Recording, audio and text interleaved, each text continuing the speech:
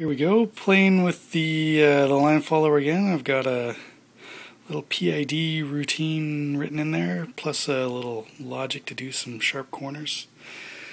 And uh, here we go.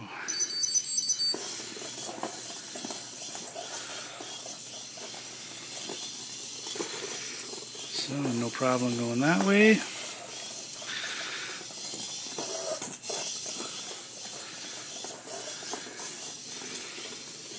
Piece of cake that way.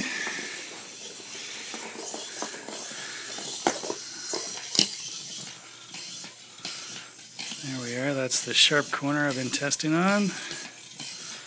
Oh, got it wrong. There we go.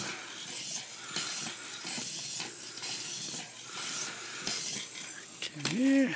Now this track is plain old nasty. I have a hard time with that gap after those sharp corners.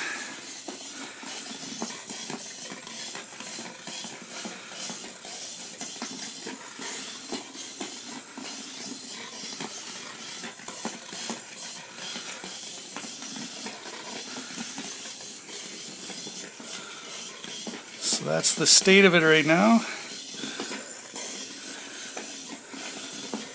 running at about 80% uh, speed or so.